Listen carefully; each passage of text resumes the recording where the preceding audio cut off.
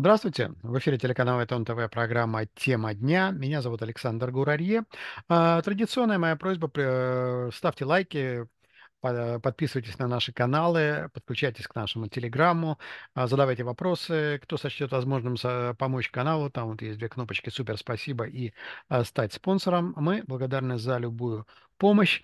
А сейчас мы побеседуем с нашим давнишним другом и, а, добрым товарищем, капитаном первого ранга ВМС США в отставке Гарри Юрием Табахом, в прошлом командиром антитеррористического центра НАТО в Турции, начальником штаба специальной военной миссии НАТО в Москве.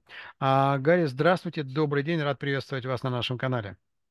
Шалом, шалом, шалом, Александр и Израиль. Э, Юрий, я бы хотел поговорить с вами, начать все-таки, знаете, с наших э, дел. Мы потом обязательно поговорим о ситуации на украинско-российском фронте, поговорим о, о звездопаде, о арестах генералов в России. А вы э, работали в Москве, работали там достаточно долго, знаете э, многих, я не, не хочу сказать, что тех, кого арестовали, боже сохрани, но многие, многих, так сказать, вер... армейских руководителей знаете лично. А, но начать я хотел все-таки с ситуации. Многих, нас кого на... я знал, надо было арестовать. Я говорю, многих, кого я знал, надо было арестовать. То есть это с вашей подачи их арестовали, да? Ну, отлично. Этих знал, да. Ну хорошо, вы, вы, вы выскажите свою точку зрения, почему их надо было арестовать. Э, я бы хотел поговорить о том, что происходит у нас сейчас а, в секторе газа, потом поговорим о северной границе. Война в Рафиахе продолжается, то есть война происходит не только э, в Рафиахе, а по всему сектору газа. А в Рафиахе вчера была произведена точечная ликвидация. А, замочили двух очень-очень отъявленных негодяев, которые, у которых руки по локоть в крови. Это была точечная ликвидация, ювелирная. А, но при этом вдруг, значит, возникли рядом взрывы, и, естественно, значит, э, палестинское медицинское, так сказать, учреждение, то есть Минздрав заявил, что это была а, атака Израиля, там несколько ракет попали в палаточный э, городок, там сначала было, э, сказали, 10 погибших, потом 20, потом 40, потом 60, но это такое пропорционально, они всегда так, в общем-то, э, так сказать, сообщают, а, причем наши выпустили одну ракету, а там, значит, вот э, была серия взрывов. А, на ваш взгляд, что происходит? Можно ли вообще продолжать операцию в такой густонаселенном районе, при том, учитывая, что, ну, почти миллион, в общем, 900 с лишним тысяч уже покинули Рафеха, переместились в подготовленные, значит, места безопасные. Э, на ваш взгляд, что должна делать армия и может ли она продолжать? Нет, конечно же, нельзя в таких э, местах проводить э, боевые действия. Боевые действия вообще нельзя проводить. Войну вообще нельзя допускать. Да, это опасная штука, да? Нет, да, ну, если раньше войны велись там вышли там к Бородино, к селу, эти ушли, и вот они там, значит, э, а, пришли смотреть, люди наблюдать, как будет идти битва гражданские. А в городах не, такого не происходило. Там, конечно, это все сегодня совершенно другое. Конечно же, нельзя. Нельзя в Газе проводить. Это прекрасный берег. Там должны быть и, э, дома отдыха, резорт, э, лучшие в мире должны быть. Все там для этого существует. Поэтому там воевать в принципе нельзя. Нельзя. Воевать надо где-нибудь там, где некрасиво, плохо и, и, и так далее. Но так не работает в реальной жизни. Да? Значит, э, не вы начали эту войну. Э, взрывы, э, то, что они говорят на базаре, что погибло 20, 30, 600, миллион человек, это не проблема Израиля. Не вы начали. Если бы они на вас не напали, никаких бы этих взрывов не было. Это как частенько то же самое делают с Украиной. А вот украинская ракета попала значит, по территории Польши и там убила двух человек а вот украинская ракета попала осколки в, в украинский дом и там погиб. Нет, это не украинские ракеты. Их там бы не было, если Россия на них не напала. Поэтому обвинять солдат, обвинять военных э, в дружеском огне или в каких-то ошибках или еще в чем-то, это глупо. И да, расследовать надо, чтобы их не было и, и так далее. Израиль может биться головой об стенку, доказывая, что это не они, что, э, что, это, что эти это Хамас, это террористы, которые защищаются, которые загрожают себя гражданским населением, которые превратили гражданское население тоже в террористическую машину. которые это, э, это ответственность ООН, это ответственность мирового сообщества, которого оплачивало учебники, где детей учили убивать евреев. Это, это нельзя просто так сказать, а вот это, их даже если это ракета или еще что-то туда попало. Поэтому это будет происходить бесконечно. Помните такое 80-х годах картину, где Э, мужчина загораживает своего сына, и протесты по всему миру, потому что израильские, израильтяне пристрелили этого мальчика. Расследование ООН А, это, год... значит, я даже помню, как его звали, этого мальчика, там что-то такое, Мухаммед Дура или Дуда, и э, в результате это была очень шумная была история, когда... Протесты жгли А потом через, через год оказалось, что мальчик жив, что все это была постановка. Нет, доказалось, что нет. Там оказалось, что это часто бывает, что мальчик жив, девочка тоже жива. Нет, это французский, я, я сам, я видел этот сюжет, девочка французский, вообще, девочка, французский это, телеканал, французский телеканал вообще, которая не арабка и живет в, в, в, в Англии, и у мамы говорит, нет, не показывает фотографию моей дочки, она не погибла, и она не палестинка. А, но это не важно эти обманы это все время идут. Дело было все в том, что через несколько лет он вышел с заключением, что пуля была не израильская, а палестинская, которая убила этого мальчика. Через несколько лет. Израильтяне сказали, не надо этот вопрос поднимать. Все, это уже когда забыто, люди забыли, сейчас вы поднимете, все равно вам не поверят. Все равно скажут, что это евреи подкупили, что это то, что... Ребята, вы сами по себе, вам никто не поможет. Перестаньте это делать. Германия объявила что она арестует Натаньяху, если он туда приедет. Вы одни... Германия? Как... Я еще не слышал такого. Да, про да, про да, Германию Германия... не было. Да, Германия объявила, что если Натаньяху туда приедет, то его арестуют. Там по, по ордеру э, Международного криминального суда и Международного суда справедливости. Но ордер еще не выдан, правда, во, они во, собираются. В ООН они уже объявили. Э, суд справедливости приказал израильтянам прекратить боевые действия в Рамале. Не Хамасу они. В Рафехе. Хамас в, может, в Рафехе. В, в Рафехе, sorry. А, не Хамасу, Хамас может продолжать боевые действия, а вот Израиль должен прекратить. Не можете вы защищаться. Это неправильно, когда евреи защищаются, чтобы их не убили. Вы не хотите компромисса. А министр Испании какая-то сказала, что они за два государства, существование двух государств. Поэтому from the river to the sea, Palestine should be free. Вот она даже не понимает, что она говорит. То есть она за существование до двух государств только без Израиля. Видимо, два государства – это э, западный берег э, реки Иордании, то есть Самария и э, Иудея. Иудея. Иудея – это не еврейская территория.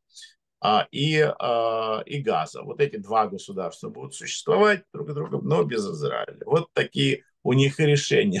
Что вы, Александр, хотите? Конечно же, это, это психоз, всемирный психоз, как был, наверное, во время Второй мировой войны.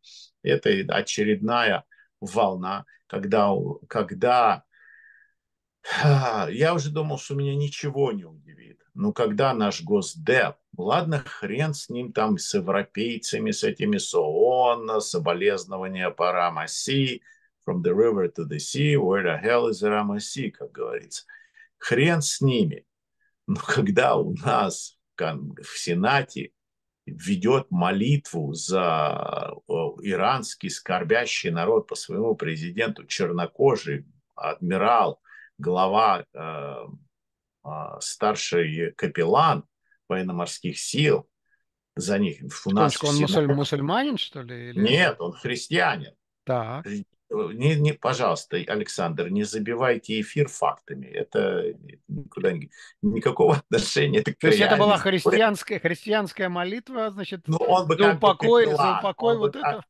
У нас капелланы, они как бы общие, там, они должны ну, все, всеми быть, неважно какой, но он сам христианин, он сам. Mm-hmm. И он, и даже этому я удивился, хрен с нашим сенатом, там большинство демократы.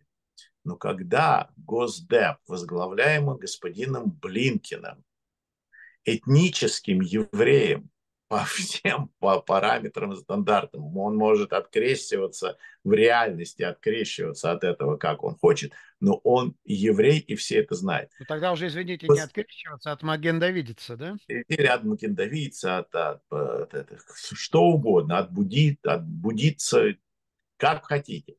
Он возглавляя Госдеп наш, посылает соболезнования Ирану о гибели Рамаси, того, кто 40 лет призывал, чтобы убили всех евреев, всех до одного, включая его.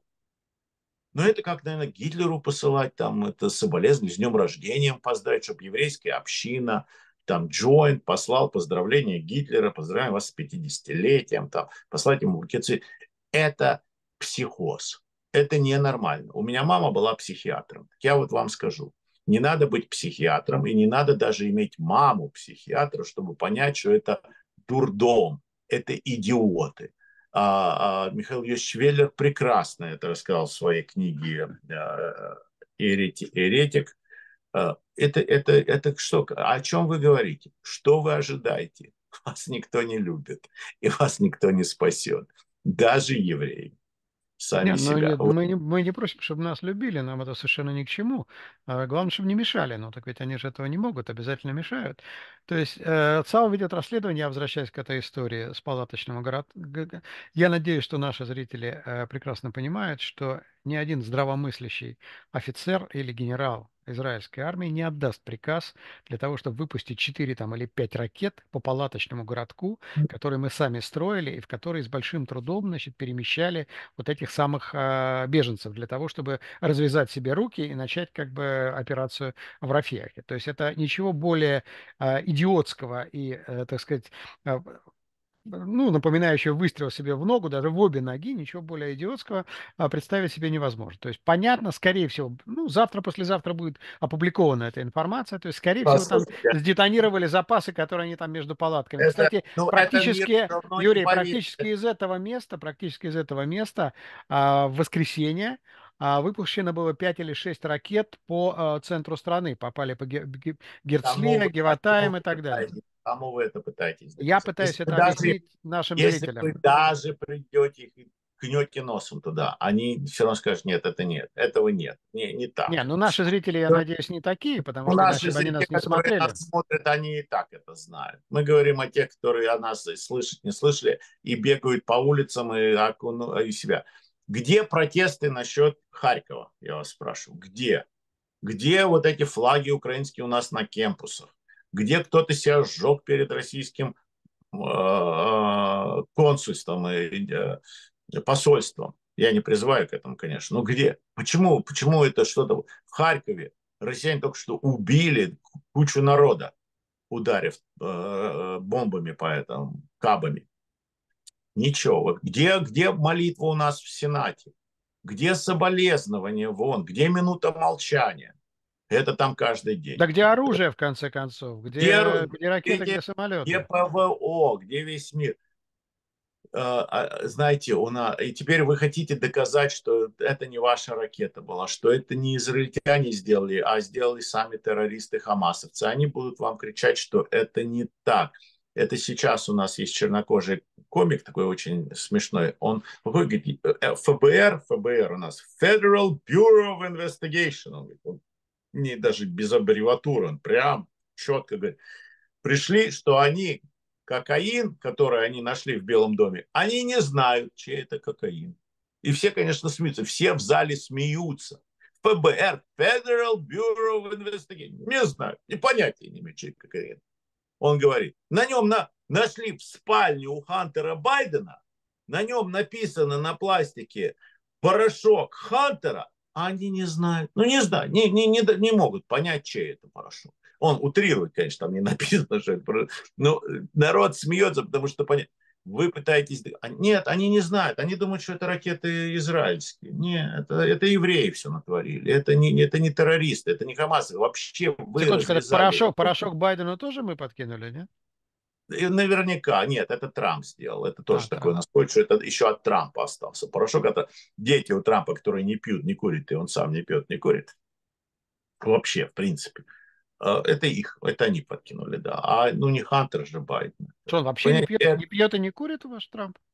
Нет, ни, никогда ну, не... С другой стороны, Юрий, ну должен быть у него хоть один недостаток. Нет, у него есть недостатки, например, женщины. Это Хотя скорее, я не знаю. Это скорее достоинство. Вот если были мужчины, вот тогда бы мы могли задуматься. Да. А так как Ну, я имею в виду, что наверняка у него есть много недостатков, но дело все в том, что э, так не Поэтому что доказывать? Сколько э, э, еще веков евреи собираются доказывать, что они хорошие люди. Вот э, недавно опубликовали, что израильтяне все-таки внедрили бионическую кисть. То есть у людей это очень самое сложное, это вот руки, кисти. Руки ну, важнее даже, чем ноги. И вот эта вот кисть, что она может, теперь люди смогут делать все кистью. Вот сейчас недавно евреи это а, дали миру, так, так, так, такую инновацию, лекарство от рака, а э, Рамаси, по которому у нас минута молчания, по которому, э, которому молитва идет за скорбящий иранский народ, это тот, который придумал, что надо вешать детей и женщин, э, и только что опять они повесили на кранах, на улице, чтобы краны стояли, это он дал. Это очень это удобно, кстати, да. Да, и он также сказал, что ну, убивать и казнить невинных женщин, невинец, я не знаю, как правильно по-русски это сказать, Э, э, нельзя. Надо их сначала изнасиловать, потому что иначе они пойдут в рай. А если они, ну, уже... А, то есть, в смысле, они не должны быть убиты девственницами, да? Девственницами, да, девственницами нет, нельзя, потому что они пойдут в рай. Значит, их надо изнасиловать. Это он дал миру вот это вот, э, видите, рай. И все равно он, у нас по нему минута молчания, а вы, сволочи, разбомбили городок, который сами же построили и истратили на это дорогущие ракеты, чтобы вот э, совершить такой акт. О чем, о чем речь, э, э, Александр? Мы не докажем. Сколько еще веков мы будем доказывать? Да нет, мы изобрели, мы музыку создали, мы картину красивую написали, мы лекарства изобрели, мы победили эпидемию, мы, мы создали высокие технологии, мы можем с вами теперь вот так общаться. Нет, нет, надо, надо нам, чтобы процветала дикари, дикость э, и людоедство. Да. Потому что а, они, они, они, а, они репрессированы. Они маленькие, да, им можно. Ничего с этим не поделаешь. Я хотел вас спросить по поводу э, вашего, ну, условно говоря, друга Эрдогана. Мы с вами уже не раз поднимали эту тему. Эрдоган сейчас по этому поводу, ну, вы служили в Турции, вы были знакомы со многими генералами, которых он сейчас посадил. Ну, не сейчас, а вот э, пару, пару лет назад, да. да. А, значит, он сейчас... 10 он сейчас э, рвет и мечет, он сейчас э, там брыжет слюной и говорит, что это невиданное преступление сионистского режима, то, что вот там погибли, сначала сказали там 10, потом 20, потом 40, они так очень э, по 20. Причем разные организации говорили по-разному. Да, и, значит, вот, и он требует, значит, возмездия, он считает, что вот сейчас Турция должна предпринять какие-то меры. А что, на ваш взгляд, может предпринять Эрдоган, или это только риторика? Ничего не может Ничего у него страна а, разваливается под его рукой. Поэтому, конечно, ему нужен внешний враг. А кто у него может быть внешний враг? Азербайджан? Ну, это друзья. Иран? Это опасно. А, а вот Израиль, евреи, это всегда безопасно, и всегда можно возбудить людей а, и, и, и создать что-то. Вот здесь, да. Тут-то братские народы по обе стороны. Поэтому нет, это невозможно. Конечно, он говорит, а так как у него экономика полностью находится в одном месте, и вот он, когда эмбарго устроил, значит, э, Израилю, сколько оно продержалось? Два-три дня? Ну, что вы сказать, что с ума сошел? Так да, он сразу за... тихонечко заявил, сразу что дал, откладывает, сразу дал откладывает введение этого эмбарго на три месяца. Ну, а теперь он опять, что-то нужно делать, что-то, пусть, ну, пусть делает. А, это еще один э, такой диктатор, который понимает, что власть у него уходит, и он должен что-то предпринять, как Путин. Чтобы удержаться у власти, он должен будет предпринять какие-то такие меры, начать войну где-то. Как насчет э, курдов? 40 миллионов. Как насчет Балучи? 40 миллионов людей. Вот вам почти 100 миллионов народу. Может, Эрдоган ими бы занялся, а не их называл э, террористами и уничтожал их сотнями и тысячами. Ну, почему-то никаких протестов люди даже не слышали про Балучис. Люди даже не знают, что это такое. Да, а, курдов, они даже не понимают, что такое курдов. А у курдов есть свой язык, своя религия, свой флаг, своя нация. Также и у Балучистана. Это были нации, это были это народы, это не, не, не, не придуманный палестинский народ. Ну и вообще я считаю, ну вы меня спрашиваете, как военный человек, что я считаю, что нужно сделать. А, я считаю, что а, вот мы сделали причал, 320 миллионов в него вложили, ровно два раза разгрузили там, причем грузовики почему-то были израильские. Первый раз 14 фур, второй раз 10 фур. Они далеко не отъехали от причала, их сразу же разгромили, разворовали. А, и все. Больше этот причал у нас не действует. Поэтому рационально, экономически я считаю, что всех а, людей из Газы, да, всех, ну что можно поделать? Посадить на этот причал и оттолкнуть от берега. Дать им воды на неделю, еды на неделю. Нет, ну гуманно это сделать. И это должна быть арабская проблема, а не израильская. Арабская, 20 арабских стран. Это братские народы. Не, ну спасать. какие братские народы, Юрий, побойтесь Бога. Вот, Египет, Египет построил стену, подогнал танки для того, чтобы, не дай бог, Эрдоган, этот братский... Эрдоган, пусть Эрдоган, не Эрдоган, Египет. возьмет их, пошлет, пошлет корабли, Иордания, Египет, а, а, Саудовская Аравия, богатые арабские страны возьмут себе несколько этих беженцев. И все. Это не должна быть израильская проблема. Это, и мы посмотрим, какая арабская страна, какой арабский братский народ их спасет. Когда из Вьетнама бежали вьетнамцы, когда их предал, кстати, а, тогда молодой сенатор Байден, и они сели на плоты и стали оттуда отчаливать, многих их подобрали кто? И они сейчас граждане и служат в израильской армии, израильтяне.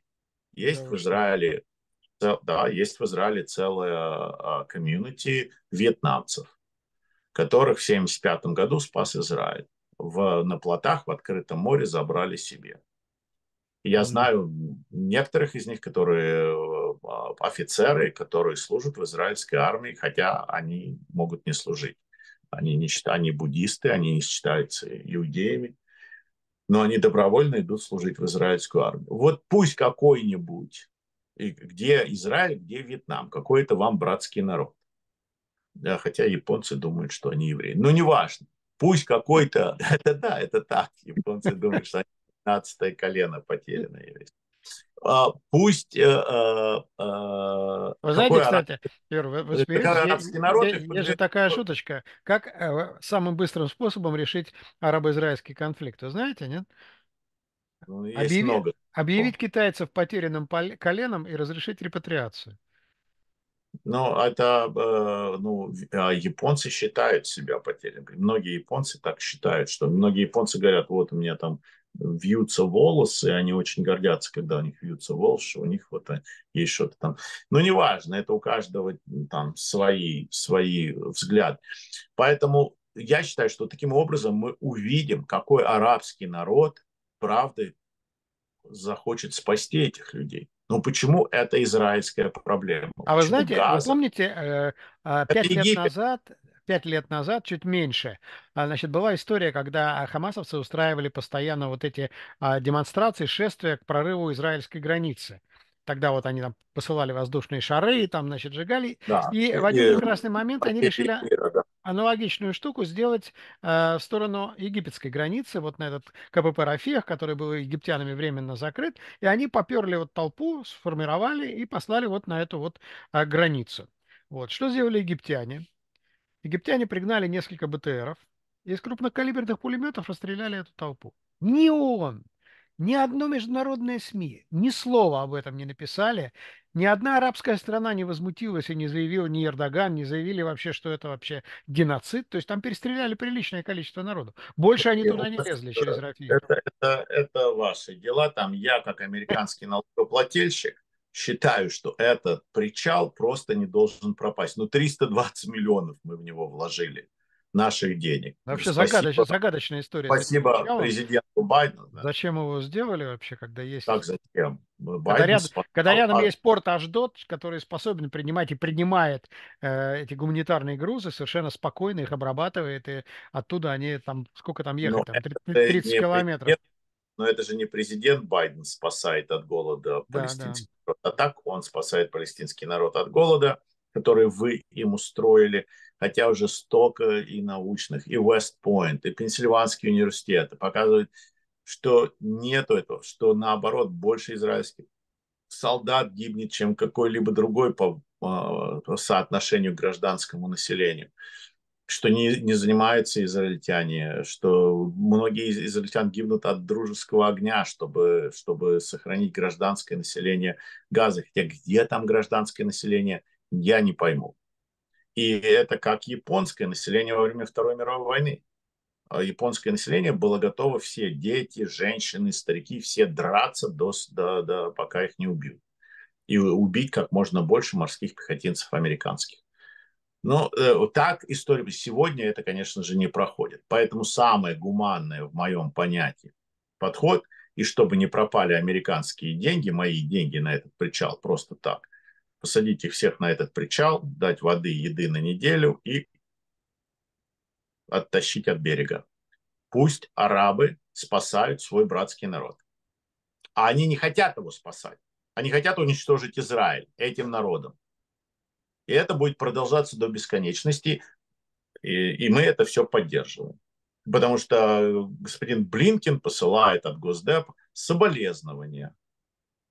Потому что такой прекрасный человек, как президент Ирана Рамаси. Раиси или как там? А, а кстати, вот я хотел вас спросить ваше мнение по поводу того, что сейчас происходит в Иране. В Иране, значит, идет сейчас предвыборная кампания, но это все, конечно, смешно и условно, там особо никаких, никаких выборов там быть не может, и все это давно рассчитано, но, но идет борьба. Идет борьба между, так сказать, группировками, которые хотят провести своего, так сказать, э, лидера своего, своего ставленника. То есть э, к выборам это мало имеет отношение, имеет именно борьба. А на ваш взгляд, в свете вот этой борьбы а, Иран больше заинтересован в обострении ситуации на северной границе, там в Ливане, или все-таки им сейчас вот не до этого, и э, команда ФАС э, для Хизбаллы не поступит? Потому что у нас идет постоянно же а, обстрелы, наши работают там по Южному Ливану, уже и по Северному Ливану. То есть все как бы висит на, на волоске. То есть в любой момент может все сорваться. Ну, я думаю, рано или поздно они скажут это, они это сделают. Но это, опять же, будет зависеть от Соединенных Штатов Америки, от Европы, от всех, как, как мы реагируем на это. Пока что мы им дали очень хорошую возможность. А, денег дали им, сейчас еще дадим. И э, венок пошлем для Рамаси красивый какой-то. То есть ООН пошел, ООН а, пошли генсекретарь ООН в посольстве тоже писал. Там минута Соболь... молчания была даже. Минута молчания, у нас молитва. Конечно же, это питает их. Сам еврей, главный еврей Америки, возглавляющий Госдеп, послал соболезнования. Почему бы и нет? У них зеленый свет. И они дадут. Этих двух уродов, которых только что вы уничтожили в Газе, они пришли из Иудеи их давным-давно арестованы, он был этот, э, сейчас у меня выскочило его имя из головы. Он должен был сидеть два, два жизненных срока в Израиле за убийство, за террористический акт, но его поменяли израильтяне на кого-то и отправили его в Газу. Сейчас то же самое они хотят. Отправить их обратно в Газу, если освободить. И эти террористы продолжают. И вот тут он возглавил уже крыло одной из батальонов э, Хамаса в Газе, эти террористы. Их надо уничтожать. Извините, конечно, за антисемитское мое выражение, но ваша еврейская вот эта вот э, интеллигенция уже задолбала. Врагов надо убивать, уничтожать, их надо э, ликвидировать. Вы не, не, они, они вернутся. Э, знаете, какой фильм э, ненавидит больше всего Путин? Спасение рядового Райна. Ну, там показывается, как американцы сохраняют жизнь, чтобы сохранить хотя бы одному солдату. раз все братья погибли, у нас нельзя служить в одной части всем братьям, потому что мы там или на одном корабле, потому что чтобы все сразу не погибли, если что. И вот они посылают спасать этого, и он не уходит. Он говорит, ну раз у меня не осталось родных братьев, все десантники – это мои братья, я остаюсь с ними. Но там был такой момент, когда они отпустили немца. Он кричал, Гитлер капут, я не хочу, я не тот, я мирный, я вообще рабочий, я, угу. я на заводе. И они, я не помню, или вы помните этот момент. И они решили его не убивать, а отпустить. И потом, через какой-то момент, они его опять встретили, когда он воюет против них. То есть он мог уйти и не возвращаться, но он вернулся и продолжал воевать за Гитлера. Поэтому вы не можете вот так вот все время отпускать их или еще что-то. Они должны знать, что их не выпустят, что их не обменяют, что их не обменяют на этих заложников. Теперь вышел этот фильм сейчас про этих несчастных девочек, которые были разоружены, которым не было чем защищаться, хотя они были военнослужащие. Вот этих девочек фильм выпустили. Опять же, израильтяне не показывают все. Они сделали, а, вы сделали а, сенсор там провели. Ну, да, вырезали там страшные, вырезали страшные да, сцены, там убийства и там прочее. страшные сцены, да, кадры самые вырезали, показали, где они там окровавлены и все, но сами самые ужасные сцены вырезали, потому что это прида, придаст шок. Ну, а что делать? Вырезали, да, эти сцены, потому что вы боитесь. А надо показать эти сцены. Надо, чтобы мир это видел. Если эти специально делают э, э, Палливуд мы называем, Палливуд, то есть палестинский Голливуд, mm-hmm. где они специально разукрашивают детей, посылают их там, или наоборот тоже взрывают, пока что это как израильтяне их пытают, специально камеру ставят так, э, где и как, а, а вы наоборот это скрываете, что, что, что делается. Конечно же, мир будет видеть это. Когда во время Второй мировой войны командующий союзными войсками, всеми союзничными войсками генерал Айзенхауэр зашел в концлагерь, сейчас я не помню, в какой то ли Майданик, то ли Бухенваль, и увидел вот этот лагерь, смотрите, как валяются трупы, эти изможенные, изуродованные кучами, их прям горы труп, он был в шоке. И он сказал, всех, всех немцев, которые в округе находятся, подростков, стариков, женщин, всех сюда, всех тыкать мордой в это. И пусть они это убирают, пусть они это видят, и заснять это все, и показать это всему миру. Или моя фамилия не Айзенхауэр, потому что Айзенхауэр это немецкая фамилия. Вот, и показано это было всему миру. И, по, и да, и они шли, эти люди, их тошнило, их рвало, они были в, в, в, в шоке, увидев, что, оказывается, это они сотворили, это они натворили. Мы все натворили то, что произошло с этими несчастными девчонками. Мы все сотворили то, что происходит сегодня в Харькове и в Украине, в Ерпене, в Мариуполе, в стирании войск. Мы сидим и мы боимся посмотреть на эти страшные кадры. YouTube это не пропускает, Facebook это не пропускает, ни один канал это не пропускает. Потому что кто-то это может увидеть, и им станет плохо а тем, кто там оказался, им хорошо. Вот.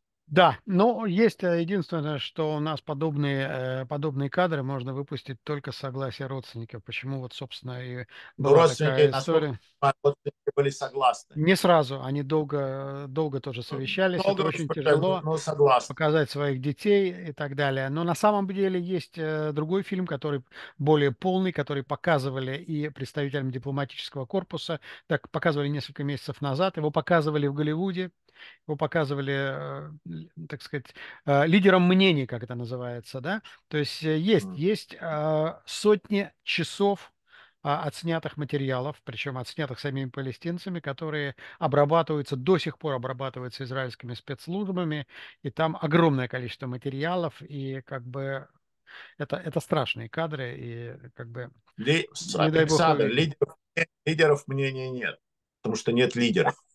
Кому вы это показываете? В ООН, в дипломатическом корпусе?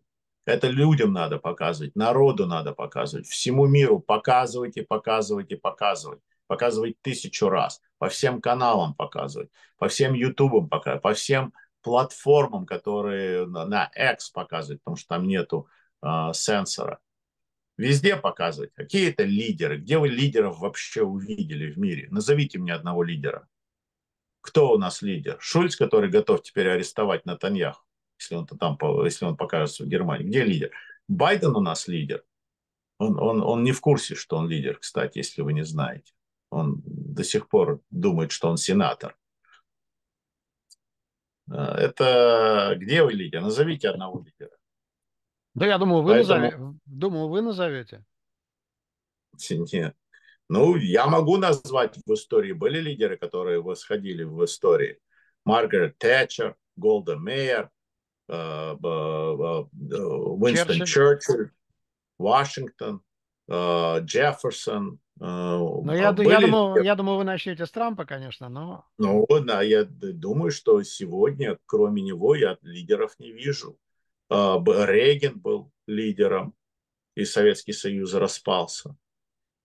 А, кстати, они сейчас делают то, что они купили, что Рейган сказал, что будет Star Wars, что у нас будет спутник, который будет сшибать их спутники. И вот сейчас, через 40 лет, Русские тоже говорят, что они теперь запустили спутник, который будет шибать другие спутники. Но все-таки догоняют, догоняют. И, э, конечно же, это был блеф. Никаких спутников мы тогда не запустили, которые могли, но они... Советский... Это подтолкнуло Советский Союз к краху, да, они, вот они, «Звездные купили, войны». Они купились на это, да, что они не смогут с этим конкурировать. Поэтому я не вижу никаких лидеров. Э, мировых лидеров. Но, может быть, э, в Китае, да, э, товарищ Возможно, Си. Товарищ что? Си, да. Товарищ да. Си, но скоро, а я думаю, о нем... Но он далеко, и ему это все до одного места. У него да. у самого, у него у самого китайцев до одного места. У него, у него, у него Тайвань там под боком, вот там, там его ну, сказать, да, глав, поэтому... главная задача, которую он сейчас будет решать. А, Юрий, поэтому, я хотел... Да, кроме Трампа, кроме Трампа я не вижу других лидеров. Назовите мне другого лидера. Я... Мишель Обама. Чего вы а, а, кстати, а вот вы э, упомянули в Суе эту замечательную женщину, про которую одна журналистка, которая поплатилась работой за это, а, написала, это была российская журналистка, которая написала, что а, на приеме была а, Мишель Обама в платье телесного цвета. Вот. И э, так вот, э, ходит вот. такой... А, а что она имеет в виду телесный цвет? Ну вот, вот это интересный вопрос, потому что в русском языке телесный цвет подразумевается вот э, цвет тела, да, ну а там было телесного цвета, как бы не... Трудно сказать, что она подразумевала, но ее обвинили в расизме, э, совершенно справедливо. А... Ну у нас только что а, президент Байден тоже отличился, потому что а, был э, президент Кении, навещал, видимо, интеллигентный человек, да. ему сделали прием, выступали, значит, э, опять же, молитву вел вот этот капеллан, отставной адмирал чернокожий, песню пел чернокожий певец, танцы были чернокожих э, наших афроамериканцев, были все афроамериканцы, он был один белый. Кроме Байдена. Включая вице-президент. Конечно же, президент Кенни считал, ну, наверное, есть же белые американцы или только афроамериканцы существуют. И, видимо, как интеллигентный человек, он посчитал это расизмом, что ему только суют черных ему под, под нос. А, и так, тогда президент Байден решил исправить ситуацию и сказал, да, как вы видите, у нас очень много афроамериканцев, и один недавно покинул Белый дом. На что Кеннеди чуть не, не упал со стула вообще и, и, и сказал, послушайте, ну это никуда не годится, это зачем?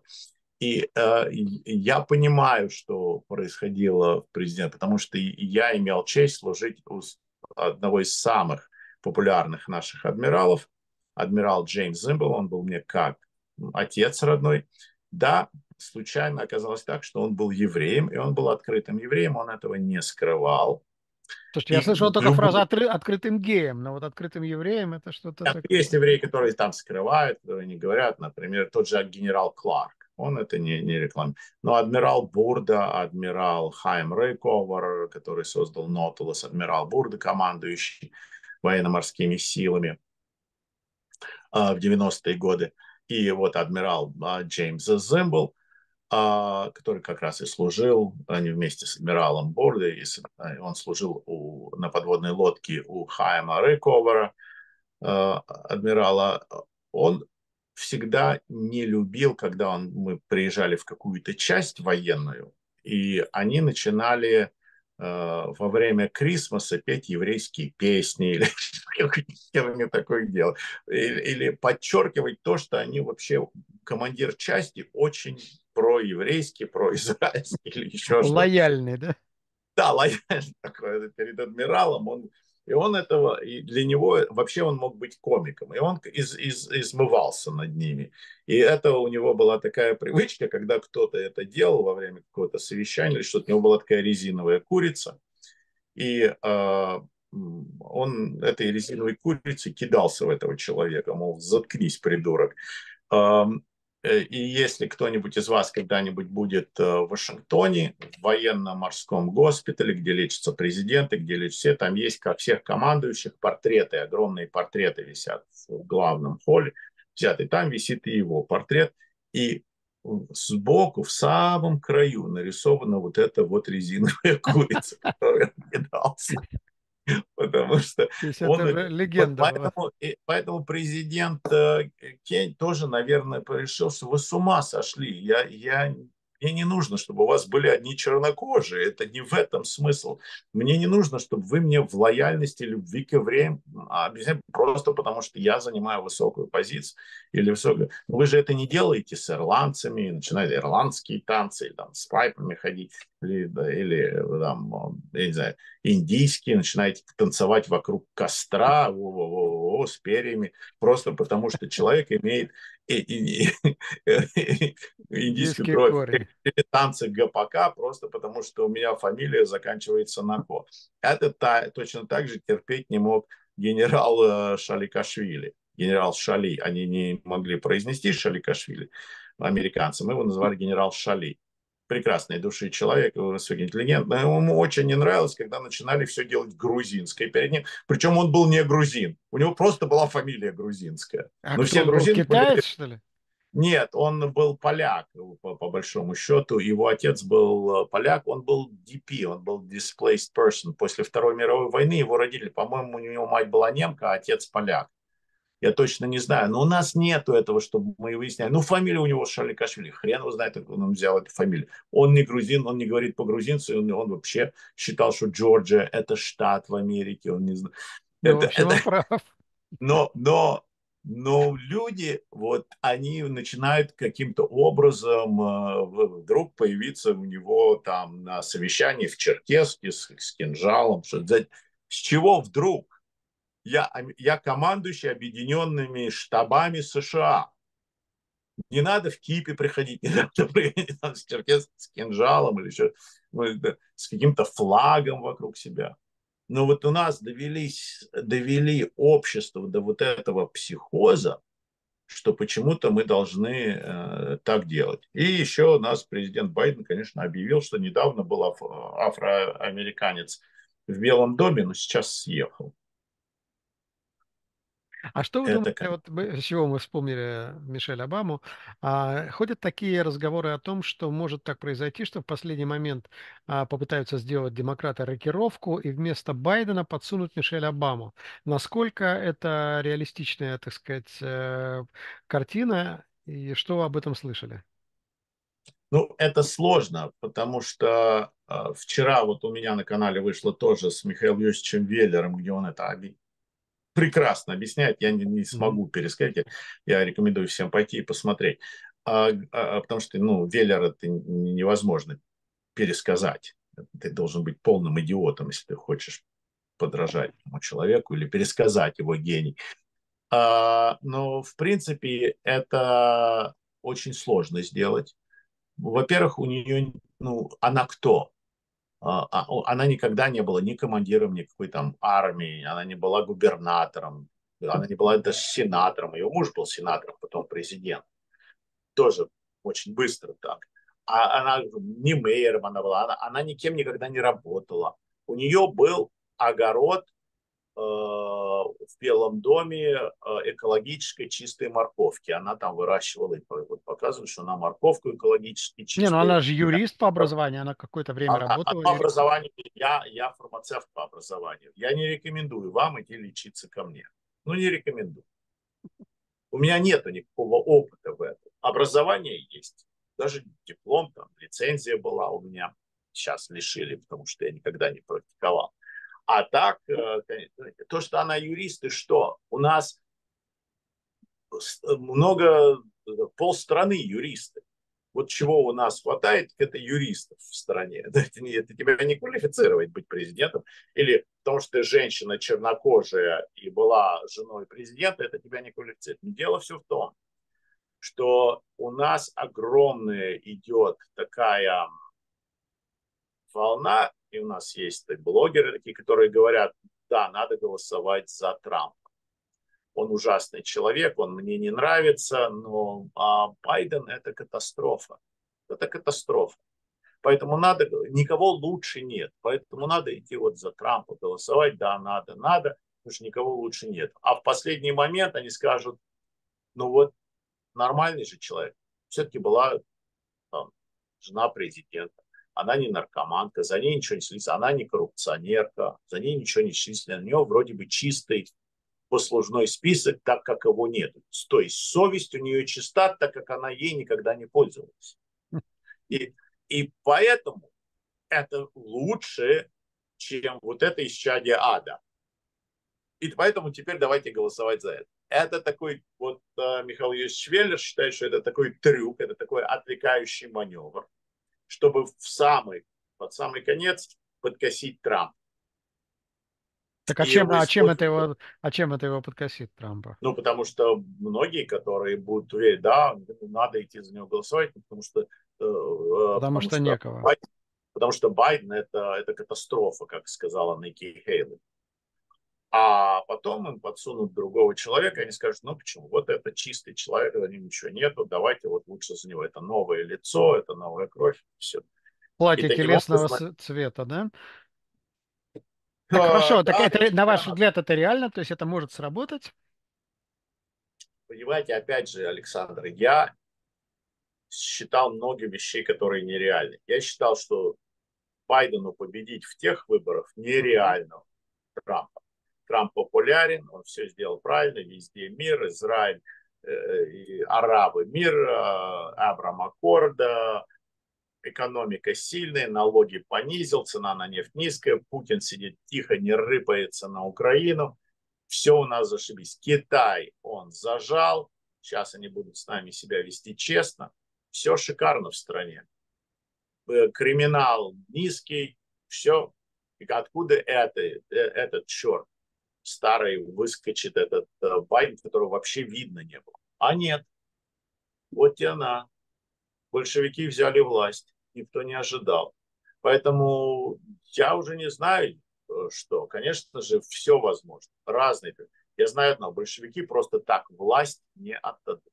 Не отдадут они просто власть. Они будут использовать э, разные заразы, разные войны, разные все, делать все, что угодно за ценой они не поставят, любой ценой власть они должны удержать. Но это у нас, я считаю, что это у нас последний шанс. Если мы сейчас не исправим эту ситуацию у нас в стране, то во всем мире мы уже не исправим. У нас второго шанса не будет. Не будет. У нас был шанс дан первый раз с Трампом. Израилю был дан шанс. Да. Вот вам тогда при нем надо было действовать, а не сидеть на, на одном месте и ожидать, что он все решит надо было действовать. Четыре года у вас было точно так же, как и Украина. Были даны четыре года, потому что должна была прийти Клинтон, и все уже тогда закончится. Плацдарм в Крыму был создан, и они бы уже тогда сдали полностью всю Украину. Но вот сводилось это из чади ада им на голову. И у вас, и у Украины, и у Тайваня, и у всех был шанс 4 года. Но его не взяли. Если Бог будет милостен и даст нам еще 4 года, шансов. Мы должны это будем использовать. Но это сначала нам надо этот шанс получить второй раз. А, но это как бы вам карты в руки, вам, американцам, избирателям. Мы тут можем только наблюдать со стороны. А, я бы хотел а, задать а, Нет, несколько ну это вопросов. тоже так не работает со стороны наблюдателя, потому что у нас огромное израильское лобби. То есть, как вы, Еврейское вам, лобби. Еврейское лобби. Э, ну, израильское, там, произраильское. Как если вы говорите, что плохо, они будут, не будут. То же самое с украинским. У нас огромное украинское лобби, огромное русскоязычное лобби, которое имеет огромное влияние. Один брым чего стоит с Гуглом, а, а таких много людей у нас в стране. И некоторые из них левые, некоторые из них принимают такие решения, что нет, нет, нет, они смотрят, что происходит в России, что происходит в Украине, в Израиле. У нас огромное китайское. Вот. Так что нет, вы имеете, вы имеете что сказать. Хорошо, я как бы сразу себя немножко повыше почувствовал, а, что имеем что сказать. Юрий, по поводу войны в Украине. Значит, идут э, серьезные атаки, российские войска медленно, но верно наступают. Uh, идет uh, такая позиционная война. Uh, вот вы упоминали уже сегодня прилеты по Харькову, о которых Зеленский сказал, ну, немножечко перефразируя, он не напрямую так сказал, что вот в гибели этих людей виноваты вы, европейцы и американцы, которые не дали нам а, систем ПВО. А, что вы думаете по этому поводу?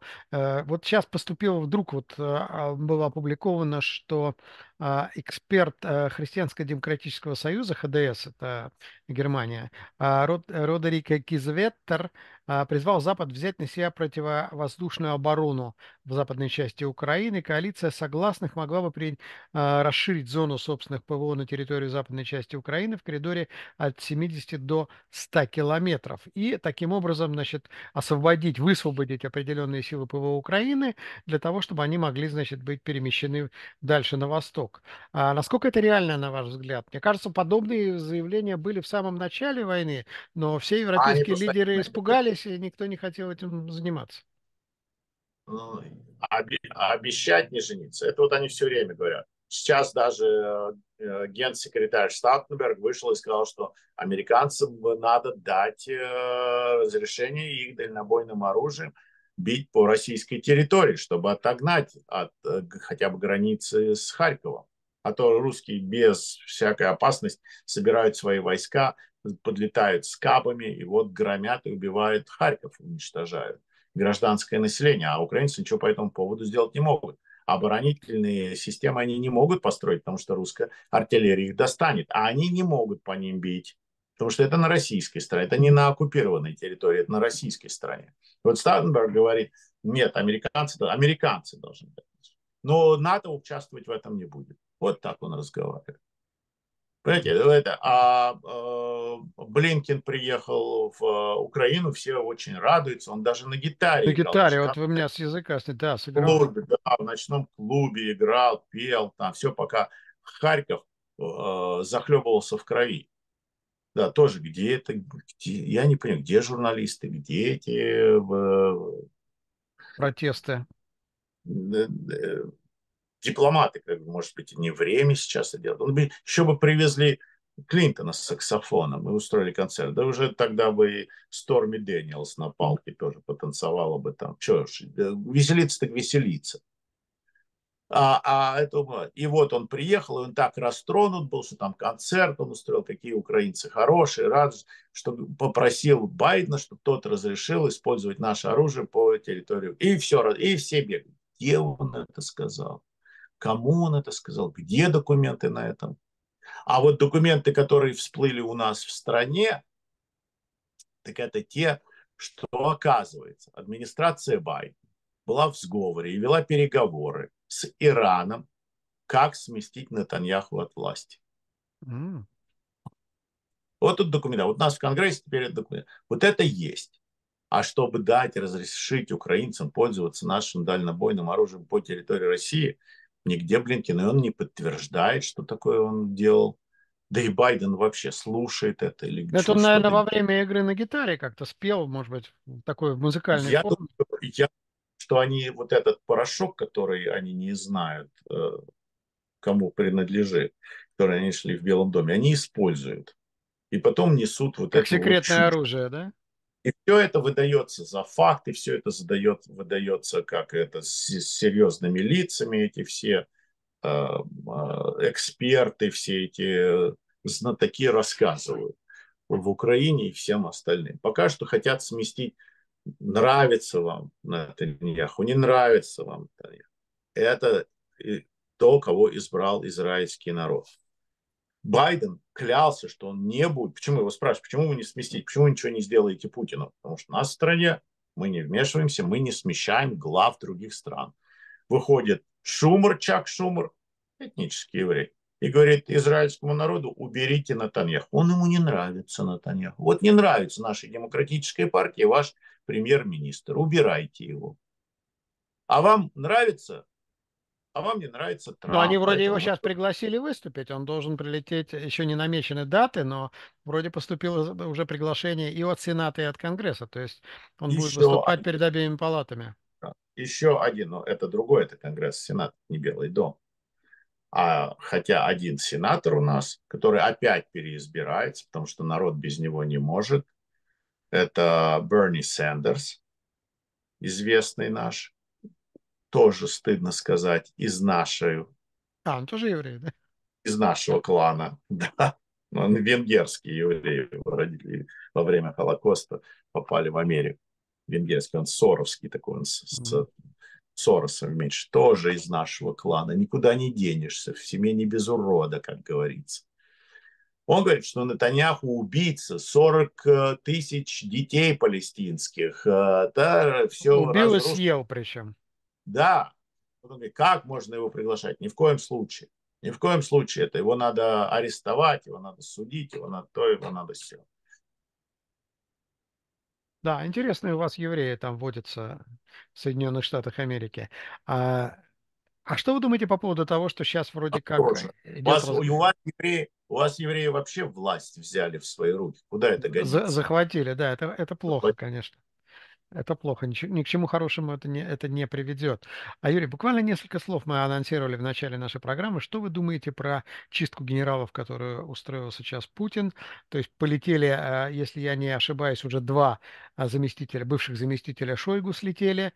Причем слетели они не просто так, а слетели сразу же это самое Нацугундер. А, под Шойгу ходит как а, мешком побитый, значит, и, наверное, озирается по сторонам, значит, от каждого тережного скрипа. А что происходит там? Э, для чего это делается? Я не знаю, но я думаю, мой опыт в России, имея дело с россиянами, мой опыт на этом уровне деньги. Деньги.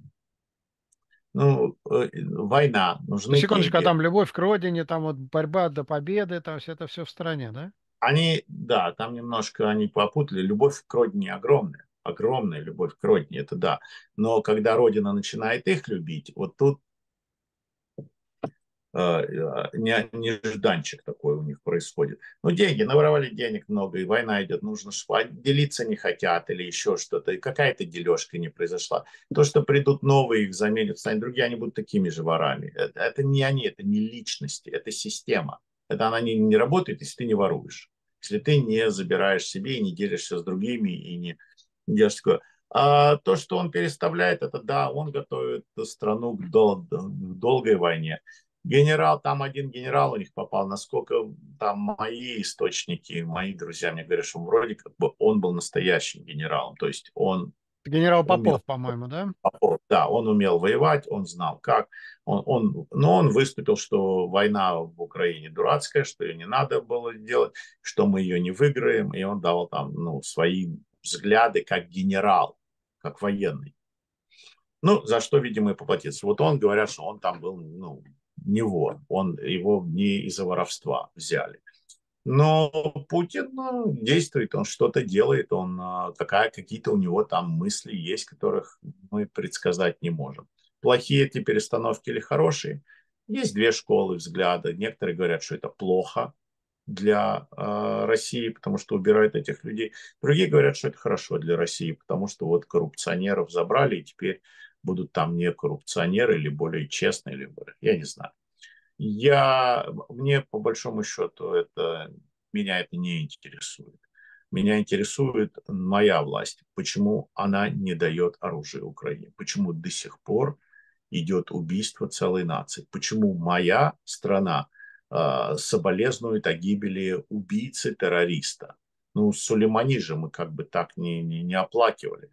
Ну и, конечно же, комедия в том, что э, вот они передают, вот эти эксперты, вот Соловьев уже тоже над этим много уже смеялись. И у меня вопрос к вам лично, э, потому что я считаю, что вы подводите это все, вот лично вы, Александр Гурье, и ваш Айтон ТВ нелояльно относится к этому, потому что Соловьев объявил, показав какого-то эксперта, французского военного эксперта, который сказал, что был там, значит, агент Масада на этом вертолете. То есть агент Масада совершил... Хеликоптер, да? Эля, элякоптер. Элякоптер, да. да. И вот он повторяет это Соловьев, что вот израильтяне все время... Эта шуточка могут... проскочила буквально в первые несколько часов в израильских пабликах на иврите, а оттуда уже это перекочевало во все остальные. То есть это прекрасное было. Но я не понимаю, у этих детей, у этих людей же детства не было, что ли? Это, них было тяжелое детство без игрушек. Это, это, я помню это из своего детства. Но сейчас вертолет. Там еще был штурман в вертолете. Да-да-да. Звали да. его как? Его да. звали Ави Гатер. Все евреи. Все евреи. Да, Ави Гатер. Ну, там есть капитан, боцман, лоцман, кацман. Понятно, что это там. Э, вижу, вижу, что не Иванов. Айсберг айсберг, да, все, все понятно, все эти вредители, какой они национальность. Но у меня дедушка, мой дедушка мне рассказывал про нашу семью, что подарки, что я очень хотел мопед в детстве. Он мне говорил, что у нас есть дядя, который его там приедет, он мне подарит мопед. Дядю зовут мотоцикл, а, я его помню, этого дядю. Там был э, э, еврей, еще один был телевизор, кто еще там был? А, моя любимая тетя была, потому что у нее все были военные. Все военные были, они с ней ели, они с ней ездили. А, а э, эту тетю все, это моя тетя была, я ее очень любил, я ее ждал каждый день, потому что все военные были. Ее звали тетя Броня Поезд. У этих, у этих, у этих, у этих шмоков что?